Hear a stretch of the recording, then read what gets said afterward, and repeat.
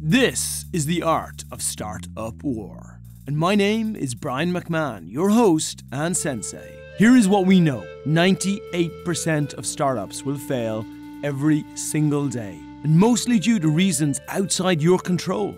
The Expert Dojo Startup Accelerator, we look to even up the playing field by sitting down with the greatest minds in startup investment right here in our studio in Silicon Beach, where we look to shine a light on your path to success. Now, our guests each week have invested millions of dollars into startups and are the most respected investors in the world. Now, they share all they know with you, the listener. So join us on Tuesday mornings at 10 o'clock Pacific Standard Time, starting off your week winning the war against startup failure.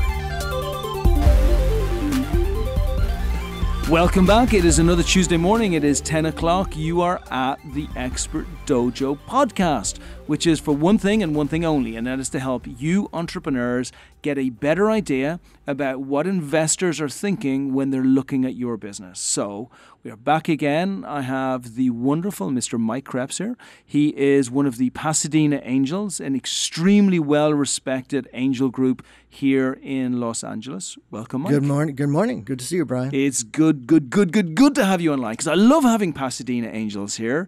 Um, and I know you've only been there for a year or so, so this is actually this is a great one because when looking at angel investing into early stage startups, there's such a broad spectrum of people who invest that it's great for our listeners to be able to hear an angel who just started a year or so ago and how you are navigating the waters of angel investing and what you've learned in that short period of time. Well, uh, I'll tell you what.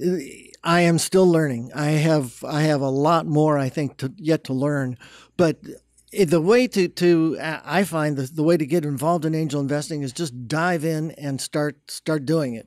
And what I hadn't known until the Pasadena Angels uh, was that there are actually organizations out there. There are angel groups. I had heard of angel investors, and these are people who had supported, uh, you know, as a high net worth individual, some entrepreneurs and whatnot, but it was news to me, actually, to be honest with you, that there's actually these groups that get together that pool their money, but more importantly, pool their brains to help, uh, you know, I guide and, and advise with the entrepreneurs that come through the doors. Yeah, I agree. I, you know, I sometimes wonder how individual angels who start investing in early stage startups even do it.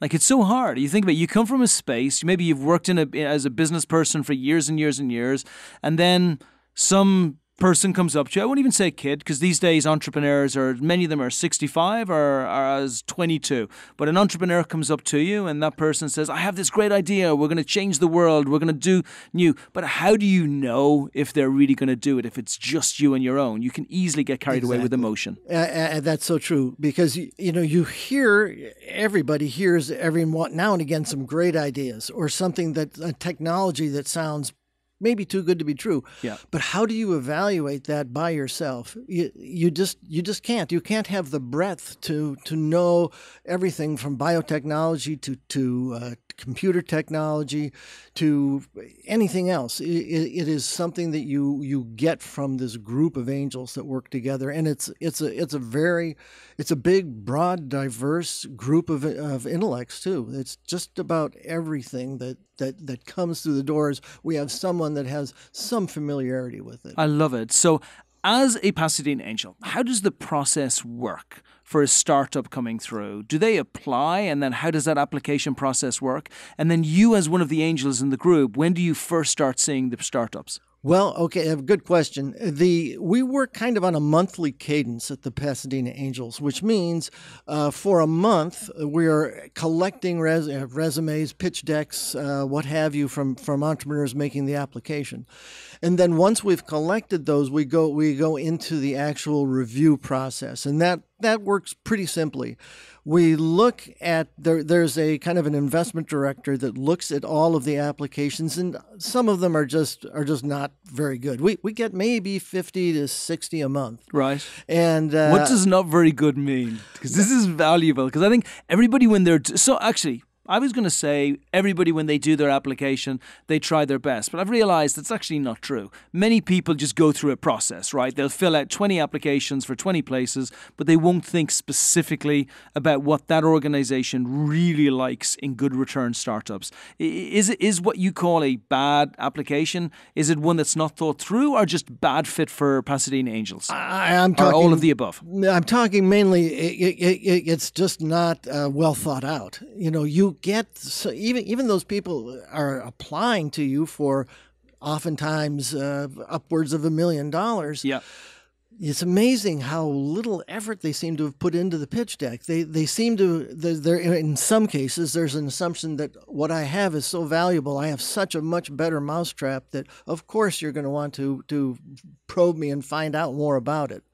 And some of the some of it you, you have your your basic uh, typos and things like that that are just uh, very careless that, that, leads you to believe if if they can't even correct the typos in a pitch deck uh, how how you know careful are they going to be with the business? With your million dollars. That's right. a phenomenal point. You know it's not so hard to put your pitch deck through grammarly or to get somebody to check it or make sure it's okay. Do you have a preferred i'm kind of asking you a question i know the answer to but i think it's going to be very valuable for entrepreneurs. Do you have a preferred pitch deck format that you like entrepreneurs to use well, I, I would say it's got to be uh, on a macro level, it's got to be very clean and simple. Don't try to do too much and, and not too much writing. It needs to have a lot of white space in it. So you're just concentrating on the main points. That's, Excellent. At a big, big picture, uh, that's kind of what to do as it goes through, uh, the elements you've got to do is you've got to describe your your product, what it is that, that you're bringing to us. You got to des- describe your team who, and, the, who, and, the, problem that that product is solving. Right? Exactly. You know, it, it, there's got to be a need for it, and and and your your competition is not noticing something, or you're going to be a better mousetrap for whatever reason. Uh, and then the team, the marketing, and of course the financials are, are very big. It's uh, uh, you, you know, are, are your are you well enough capitalized? Is, are you within your burn rate? Or how much runway do you have? Is that going to be adequate? Uh, what are your plans going forward? What is the plans to raise perhaps a Series A, B, C, that type of thing? How are you going to scale this business? Very interesting. I had a, a philosophy, and I, am an old school guy, right? I've lived in many, many countries. I've had a bunch of companies on my own, but I, I believe in hard work. I believe that you have to have good business fundamentals, but I also believe actually that has hasn't really changed over the years. Over the last 20 or 30 years, give or take companies that just have so much money pumped into them that maybe they can bypass these rules, the vast majority of companies have got to be focused on on the ideology that sure, you can think like a startup, but you have to act like a corporation. If you're going to take a million dollars from an organization, you sure as heck better be approaching that whole process on the basis that they trust that you will be a corporation the day you take that money and acting as such. Absolutely. Absolutely. And, and with the Pasadena Angels, if we're going to be investing that kind of money, we expect to have some visibility to the board of directors. If it isn't an actual board seat, uh, some kind of uh, board visibility that allows us to make sure that things are, are, are as you say, it's proceeding in a corporate manner, that the, that the objectives are being, are, are being crafted in a, in a proper way and that they're being pursued aggressively and with uh, you know, with with comprehension. And I'm going to give a shout out for Pasadena. I want to, we're not going to move away from the requirements within the application because I think it's so important for startups, and it's a mistake which is made way too often, and, and it's such a basic rookie mistake. You think about all the reasons why you are not going to get money because of problems in the economy, changes, and everything else. But imagine not getting it just because you put forward a terrible application. Like, just shame on us for doing that. So I want to help you fix that. Um, but I also do want to really talk about why it's important to have a, a group like Pasadena Angels in your court. So Mike is talking about, well, they're going to look for a board seat. You should want them to have a board seat because, unlike a venture capitalist where you have possibly one partner who's working with you and you'll never really see that partner because they have so many companies within the organization, think about Pasadena Angels. Like, how many angels are there in Pasadena Angels? Uh, I think there's about 130. So this is like, this is one on one Braveheart. You have your own militia army of angels who all have a vested interest in you being successful. Like, if you're not successful, then it sucks for Pasadena Angels as much as it sucks for you. They're only making an investment or so every single month. Right. So it hurts if it's not being successful. And those angels are coming from backgrounds of leaders of industry, leaders of business, leaders of venture capital firms, institutional investors, service providers. Like literally, if you can capture the power that you have within the group of angels, you can increase the success rates of your business by a phenomenal amount. Right. If you come and, and you are, are lacking in any of the skill sets that you need, there's going to be people there at the angels that have those skill sets. And that's so many of them are eager to share that with you and to work with you. And it's, it's not, you know, meant for a, a job in terms of uh, getting paid for it, but it is just a mentorship that, that, that we enjoy. That that's uh, like I say, a lot of these people have come from very big roles in business, and they're they're looking to to be able to share the what they've learned and what they've done. So I will say to you, as a startup, especially if you're past the accelerator stage or that very very early stage stage, and you have the choice between venture capitalist, individual angel, or angel group, you should always, always, always choose the angel group. Unless the unless there's a strategic alliance with somebody who's actually going to directly help your business grow. Because the group itself is such a powerful ally behind you. What else on the application form mike? So the deck i get don't be stupid keep it simple mm. have a high proportion of pictures stimuli not have like millions of words written down right. that nobody can ever make through or it's too hard to understand. But is there are there other aspects that people can work on for it to stand out amongst the other 50 a month?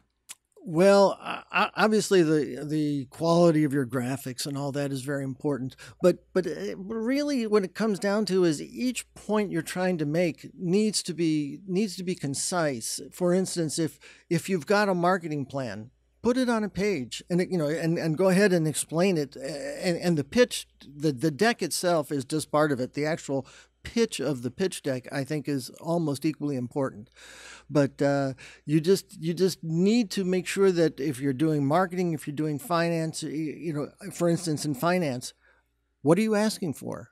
A lot of times, I, have been in pitches where we have to ask, so so what what is the ask? You know that kind of thing. But uh, just make sure that everything is is simply tightened up, and and I don't think a pitch deck needs to be any more than twelve pages. Yeah, I like that you've said that. I have seen pitch decks of a lot more than 12 pages. Right, right. A lot, lot more. Because the, the hard thing for an entrepreneur is they think, we have so much to say. Are you crazy? Like we're recreating the world. Right. And they have to put it. But what they don't realize is that the interest of people looking at, firstly, the people reading the pitch deck are not as enthralled by one startup as obviously that individual startup is. And number two is our interest level decreases after a very short period of time. You maybe have a window of two or three minutes with less, 30 seconds with yes. someone before they decided is this going to be something amazing or is it not? That is that is the that I think is more true and more important than just about anything. In fact, I just came this morning from a uh, where at the Pasadena Angels where we're going through the process where we're down to about ten companies. We've got rid of the the uh, the the, the non performers that that applied, and now we have a Zoom conference with each everybody has a four minute pitch and, and these it, are the 10 so generally it goes from 10. 50 gets culled down to 10 right. with no pitches right that's just right. looking at their decks that's right that's okay. right okay and then we have the 10 that are in there and they're they get they get a, a three minute zoom presentation uh-huh. a four minute zoom uh, presentation three minute q&a and then we have an internal q&a for those 10 and the purpose there is to be getting down to four so we're looking to to, to, wow. to get us down to to four in those in those uh, in those uh, uh, from those 10. But what you said is, is very important in that uh, the uh, you've got you've got three minutes, four minutes. tell us what it is you're going to what what, what it is in the first 30 seconds tell us what your better mousetrap is because as you say we've got 10 companies that we're going through like this and it's it's it's very easy to quickly make a decision that I don't think this is for me. I'll just go ahead and, and you know check my my email, do a few other things, but uh, that decision is made often very quickly, and it's and and and if your and if your presentation is one that's confused, it's it's over. You're you're going to lose half of the angels that are that, that are listening just just just because they can't follow it. And how focused? If we look at maybe the four or five areas that are important. I mean, within a pitch deck, those 12 slides obviously all have different areas which are all important. The competition is important, the uh, team is important, the revenue is important, the future profitability, the ask and what it's going to be used for is important, the problem is important, the solution is important, right. like all of the, and the market size is important. They're all important. But if you were going to weigh up mm-hmm. the two or three most important slides that you just find that the angel's eyes start opening up, what do they look like? Well, uh, one slide that everybody pays attention to is the the team slide. Who who wow, is okay. who is the CEO and and a little background. What's the education? What have they done in the past? Have there been uh, previous startups, successful exits, that kind of thing? Uh, that everybody is is very interested in. There's also, I would say, I would say probably uh, half of the angels come from a very uh, sophisticated financial background. So you better have your financial ducks in a row in terms of how are you going to, how much you're going to raise, how are you going to raise it, and uh, uh, what are you going to do with it? And, yeah. and, and then what is the cash flow? And they need to prove to you because a lot of the time we see cash flow projections which are crazy, right? right. They'll just say, so what we're going to do is we're going to do a million dollars next year, we're going to do five million dollars the following year, we're then going to do fifty million dollars by 2020, and then sell the business for 220 million dollars by acquisition. Right.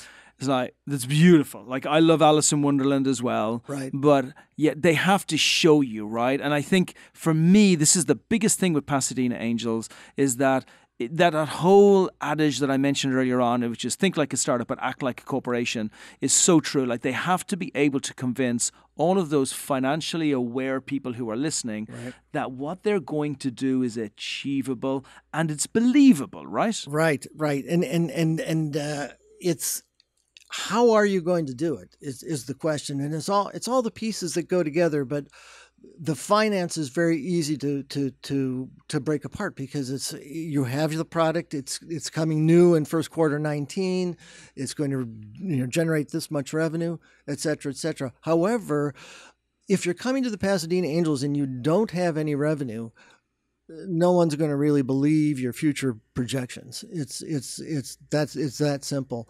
If you have a business, the the kind of business financially that's going to succeed as far as getting financing from Pasadena Angels is going to be something that uh, is already started and has some revenue coming in, and in and obviously looks like it can be scalable. Yeah.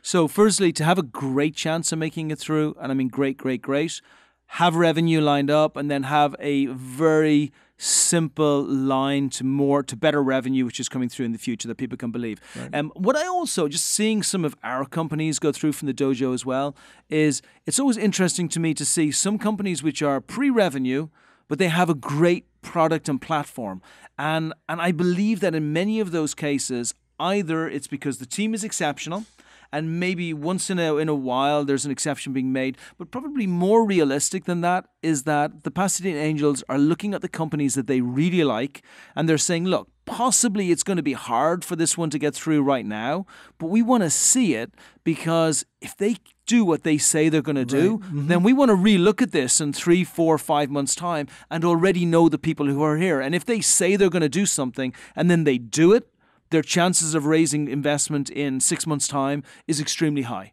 Absolutely. Could be of these 10 uh, companies that are going to be going through today, I would say probably, well, we're going to have four go to the next round. And by the way, at the next round, the entrepreneurs will actually come in and in person and then do a about a 15 minute pitch, a 10 minute Q and A uh, to narrow it down to two.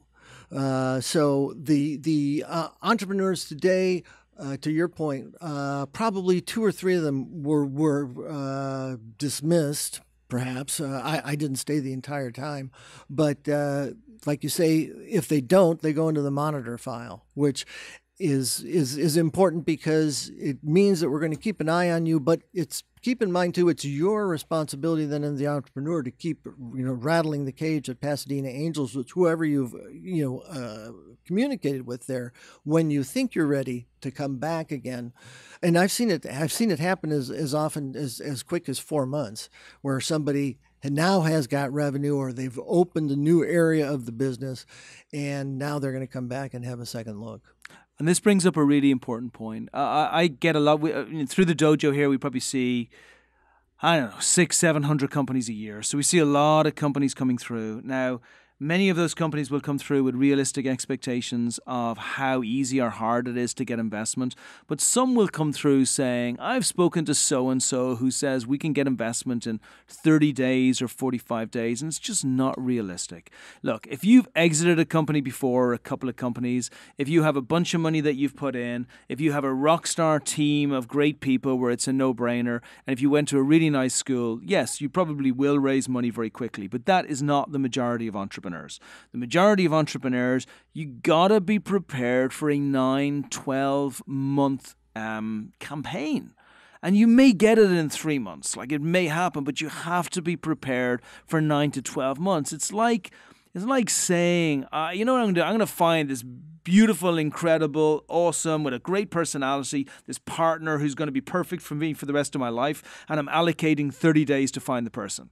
Right. God bless you. Yep. You know, it's just hard. So many of the so many of the entrepreneurs we see are are uh, ready to you know ready to go, but they don't have uh, they don't have their their plans completely ready to go, and they're just they're ahead of themselves with yeah. this, and that just it, it it's it's disturbing, but you know, if they can get in with an accelerator or if they can even get in with an angel group, there's a lot of opportunity to help them. So it's a path, right? Every meeting you have is just another pavestone in your path. And you have to have meetings. When we do the second series, we're, we're going to interview entrepreneurs because I want to give you that side of it as well and what they go through to meet with investors, to go from space to space to space. Every single meeting you have with any investor is not to get investment. It's for you to, f- to become a little bit closer to the truth. And the truth is about how do I get to a place where we have the highest degree of certainty from both the investor and from my perspective that we're going to be successful. And between now and then, we want to make sure that we eradicate all of the fat, the things that are not actually going to get us to that place. So I, I, that's what I really like about Pasadena Angels. It's not an emotional conversation of you should invest in me because we have a great company and I'm really great and we're going to change the future. It's about a lot of very sensible people who've had many, many years in business who are looking at an individual entrepreneur and saying, what is your probability for success based in main part on the product fit that you have, the value you can bring out, and the financial implementation that you've already achieved, stroke will achieve. Right, and and if you've if you've gone ahead and and uh, you've made the uh, deck and you're getting your financing, what so many of the entrepreneurs will tell me that financing is really it's almost a stop in what they're doing in, in terms of fundraising in that sure they're keeping the business going but fundraising is is about is about half of it. Yeah. And it's it's just a, a tremendous burden uh, for for the for the entrepreneur. But you you don't need to you if you think about it that way I don't think you're going to be very successful in getting the fundraising. You've got to be uh, outgoing. You've got to be aggressive. For instance when I go to a pitch event if I if I meet with you send me an email. You know, I get I give you my business card. Send you my send me an email afterwards. You know, a little thank you, and then I will respond to you and tell you either, uh, you know, gee, it was nice meeting you. Good luck. Or I often will re- respond with a whole series of questions, and then that will enter into a discussion that. Uh, who knows where it can go? Yeah, and, and, and on that advice, by the way, you know, take it a tiny bit further. Uh, many people will write that first email back, say, "Hey, am I getting investment?" Which is really what they're asking. Mm. But what about a month later, or two months later, or three months later, recognizing this is a campaign? So, by continually looking for feedback, by continually giving advi- giving feedback on what's happening within your business, you're then building that relationship, right? And I think that's right. where a lot of entrepreneurs fail down. They hear and know immediately, they go away, they never come back afterwards. And it's not that smart. Right. It, it, it is, as you said, it's about the relationships and, and, and making that relationship and letting letting me help you. I, I, I myself am not going to help you more than like more than likely, but I know a lot of people that are going to be able to if they can't help you they'll know somebody that will be able to help you beautiful and i feel like now we're we're drilling into the final portion of the finals, like we're getting down to the last two people. But just before we get there, let's take a commercial break and you tell me how did you get into investment yourself? Like, what was it a year ago that made you think, I'm going to go into the crazy world of early stage investing and finding people with impossible dreams, with improbable timelines, who are coming to perfect strangers to ask them for a bunch of money to make it happen? Right. Well, you you, you make it you make it sound kind of desperate, but uh, it's it's actually not not at all that way. I got into this. I was in the auto industry for 25 years. I was a corporate uh, type of person, and I, I I say that with a degree of shame. It was uh, I always admired the entrepreneurs and and the you know the guts and the brains and the leadership that all kind of have to congeal together to make to make a business. Uh, but uh, so anyway, when I left the auto industry, I started actually working in. Uh, I started my own consultancy and did uh, market research for for the industry, which I had done within the industry for a lot of years. And then one of the people that I uh, I got a contact from somebody uh, who through a, a mutual uh, friend that said, uh, I'm actually starting an, an automotive accelerator, and wow. I'm wondering if you would, you know, be able to donate some time to participate in that. At that point, coming from automotive development, I'll be honest with you, I, I had a rough idea what an accelerator was. Yeah. But uh, at any rate, I went and did that and, and started working with him. And then I said to him, How do you get these companies that, that are part of your accelerator? How do you find them?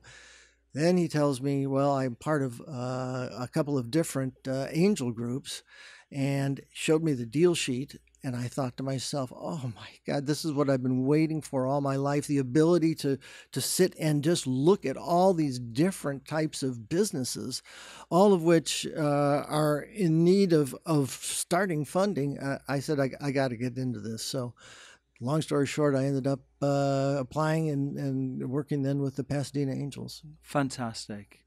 Isn't it so great? And it's so refreshing, isn't it? Just being in the early stage startup space. Like, oh, there's so much hope. There's so much hope. And, and there's so much, you know, eh, young people that are so, uh, they're not jaded in any way. They're ready to give life a try. And uh, some of them are very sincere, very intelligent, uh, very, very hardworking. And it's just, it's great to be able, when you find these people with a, that do actually have a better mousetrap, that's that's the dream is, is to work with them. Shall I tell you something even more beautiful than that? Kind of our journey here at the dojo when I first started, I believed our, our demographic, our avatar of the perfect startup was a 22 year old who 22 year old guy. Let's be really specific, who's maybe based in Santa Monica or based somewhere around here where they've got access to some angels. Not an Ivy League person because those people were never going to come to us nor need us, but someone who came from a decent middle class family who had the education and the ability to be fast start on entrepreneurship. Within 12 months, we worked out that actually our perfect avatar is a 38 to a 44 year old woman. Hmm. And and and this was just our second and, and we realized that because like what is a perfect avatar for someone like us, right? We now have a small fund which we invest in companies. We see early stage startups all the time. We have the pre-accelerator that goes with the fund, which is really just a training program, a connections program to get them going. Well, the only thing that really makes us look good is success, right? Yep. So if we get success and we get success quicker, then it's easy for us to attract more money to come in for the fund. It's easy for us to expand and sure. to go further. So we're looking for the type of person who gets success quicker. And what would happen? And I'm, look, I'm generalizing, but I just it was a fascinating process where at the beginning with the 22 year old guy, many would come in and say, man, we're just going to build this. There's a huge need. We're going to blow it up. Mm-hmm. And that's all very nice, but not very specific. While the 38 to the 44 year old woman would come in and say, Look, I've already been working on this for 12 months. There are seven aspects of this that will make it successful. Three of these aspects we've actually worked out and we're really good at these. I would like you to quantify for me how you're going to help me with these four other aspects and by when. Uh-huh. And I would think, This is friggin' awesome. Sounds like a because dream. she just saved me six months. Like six months of work. I'm fluffing around on areas we didn't know about, just being saved by this one conversation. But then, and that to me was so beautiful because I realized we're not dealing with the demographic because it's trendy or because it's nice or people should say we should work with women more. We're dealing with them because people haven't realized it's a friggin' awesome demographic for better success rates. And I'll tell you something even more beautiful that I've seen in the last six months. The last three investments that we got outside our fund, like 1 1.5 million, have all been people between 45 and 55. Huh, that's interesting. And there's one thing nicer than hope in a young person. It's when you get someone who's 45, 50, 55, 60, and they get a second lease of life.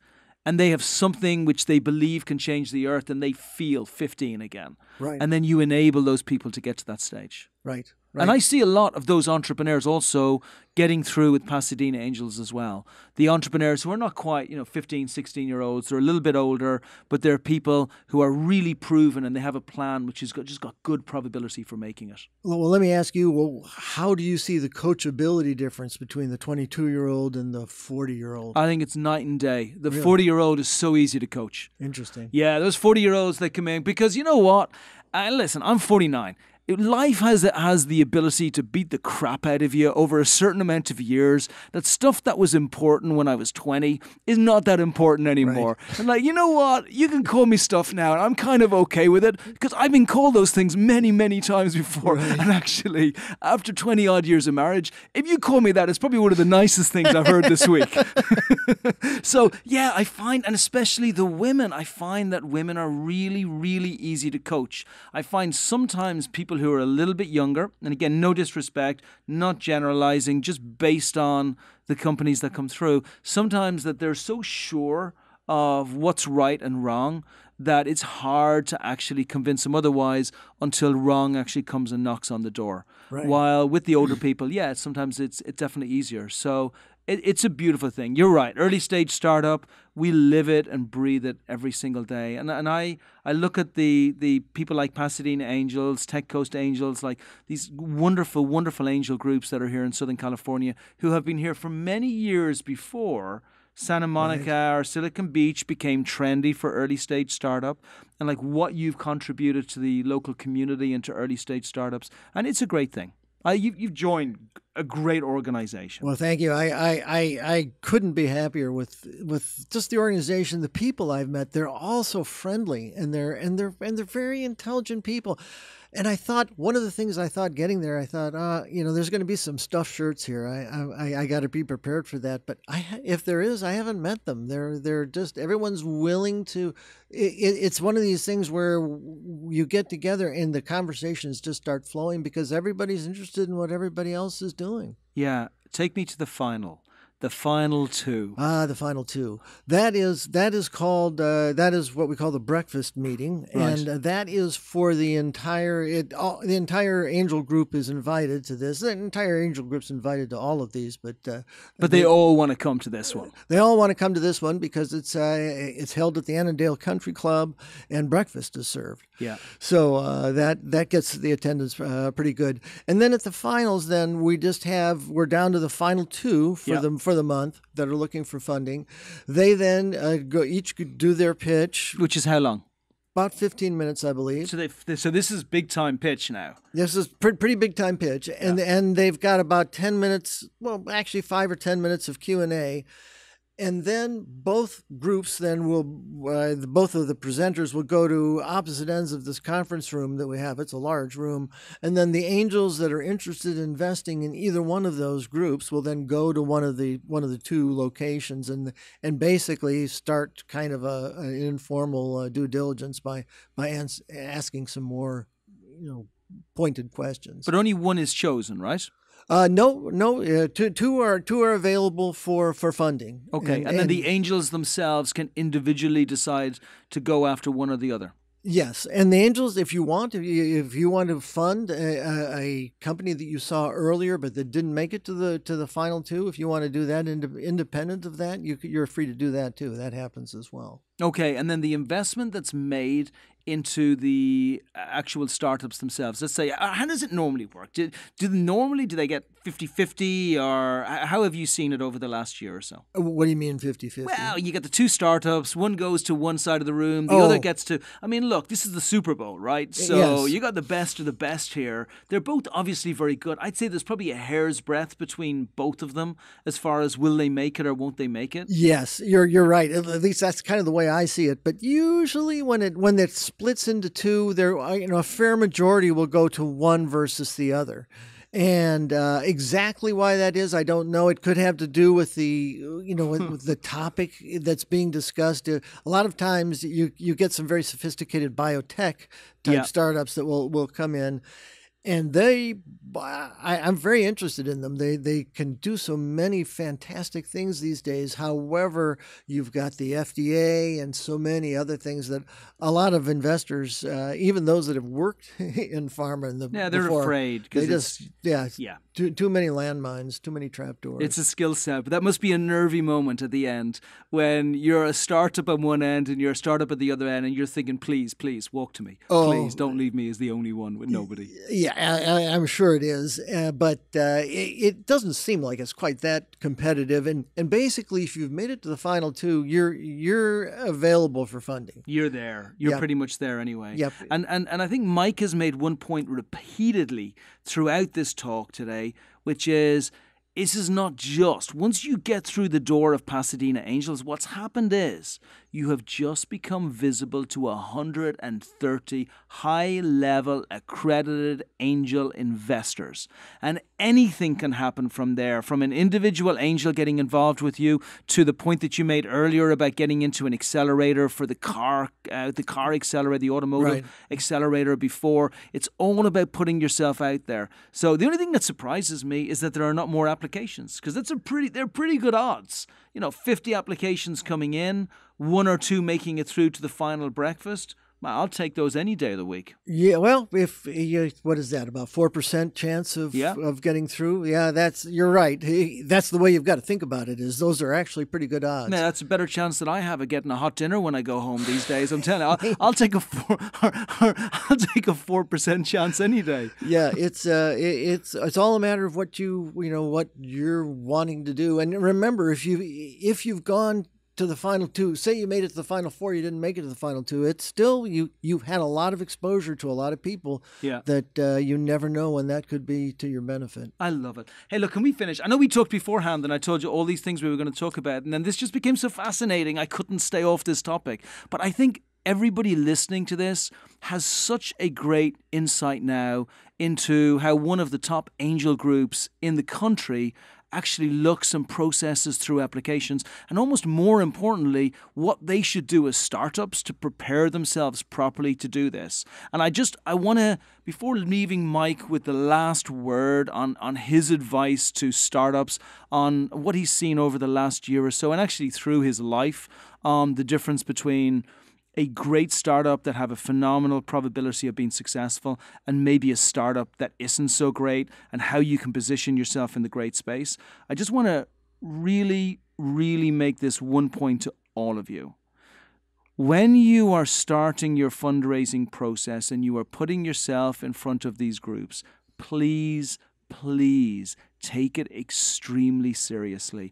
And I mean every part of it. I know as startups you're busy. I know you've got a lot to do. I know you're trying to juggle, you know, your personnel, your staff, your business, your processes, your outreach with your institutional investing. But when you're in front of a group of 130 of the most influential angels in an entire region, I promise you, no matter what you do after that, a conversation will end up being had with one of these people at one stage over the next eight or nine months. Make sure that you put so much effort into it that that conversation with those people is going to be all about you being as incredible as you could have possibly been all the way through the process. Mike, take us home. Give us a little bit of advice that you would give to entrepreneurs about being great. And then also just maybe how people can contact you. Even if it's through me, yep. that's okay as well. Yeah, the uh, I, I would say the the advice to the to the to the people coming to the angel groups to to coming to the Pasadena Angels specifically is come come with uh, come with a lot of uh, professional enthusiasm. I guess I should say. What is imp- what I've learned going through this is how much the personality of the leader and the lead and the personality of the team makes makes a difference as you as you go through it. Yeah, you've got a better mousetrap, but that's not so uncommon these days.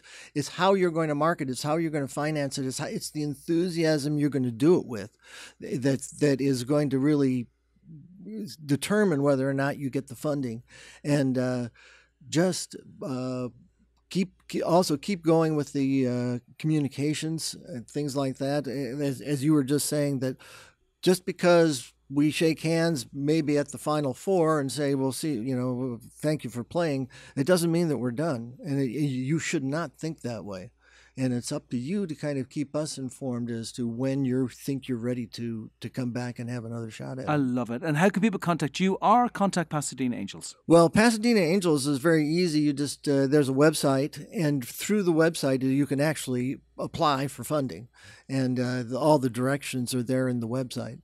And then if you want to contact me, uh, I'm uh, my name is Mike Krebs. It's very easy. Just uh, send me an email at krebsplace at hotmail.com. Be, Beautiful. Be happy to talk with you. I thank you, sir, for getting involved in the early stage startup community. Um, I thank all the folks in Pasadena Angels, as I always do. Uh, it's a pleasure. You've shared some phenomenal information. Thanks for being a part of it. Well, thank you, Brian. I appreciate it. And uh, we definitely enjoy working with the, the Expert Dojo. Thank you. That's a wrap. Thanks for joining us. If you know any other entrepreneur equally ambitious as you, then share this podcast by paying it forward to other entrepreneurs who are building your own army. Now, as always, our website, expertdojo.com, is packed with information to help you grow your business find investment, and train for victory. We also walk our talk and invest in startups every year in our accelerator here in Silicon Beach.